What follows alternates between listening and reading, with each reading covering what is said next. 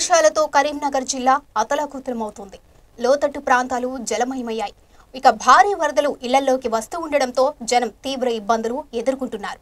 ఇక మరోవైపు జమ్మికుంట మండలంలో వర్షం కారణంగా నూట యాభై ఇళ్ళలోకి వరద నీరు వచ్చి చేరింది. బండి కొట్టుకొస్తుంది.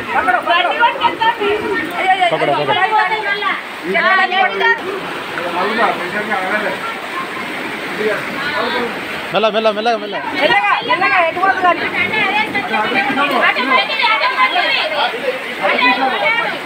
लोगों को नहीं कर लोगों की मतलब क्यों नहीं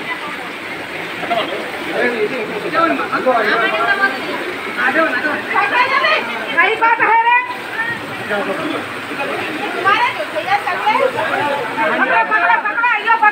ध्यान है छोड़ क्या कर दूँ শোকেস দেখে এলাম